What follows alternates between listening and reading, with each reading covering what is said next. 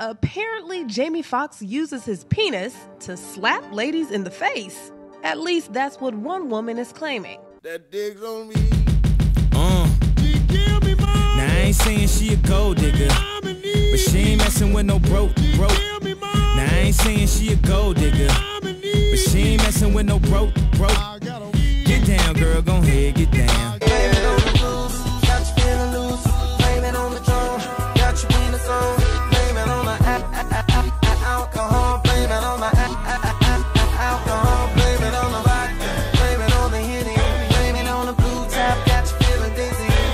I let this shit slide. After Morgan Freeman, I said, get the fuck out of here. Now, Jamie, man, get the fuck out of here.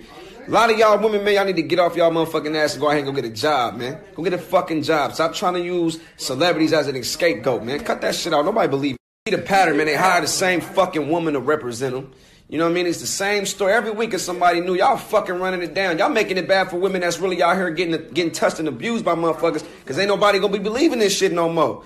Get a job or sit down. Mia, why is you out here hitting bitches in the head with the with your penis?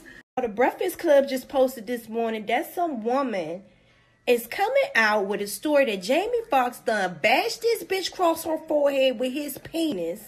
Cause she was at his house in Vegas back in 2002, over 16 years ago.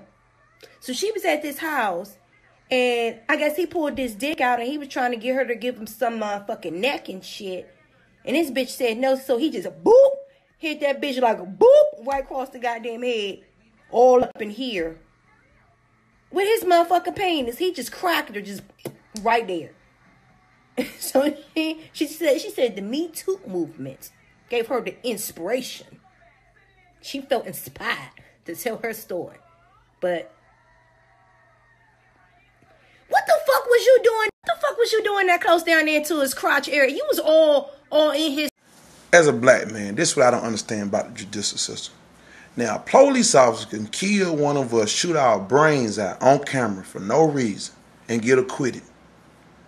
But these motherfucking females can go back 30 or 40 years and say, I got drunk one night and he put his penis in my mouth for three seconds and I told him I was uncomfortable.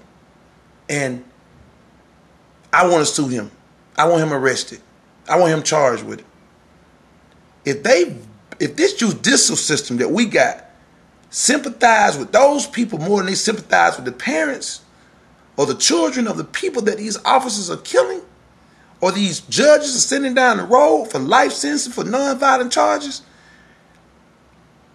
I just don't get it. How are we a society and sympathetic with women that come back 30, 40 years?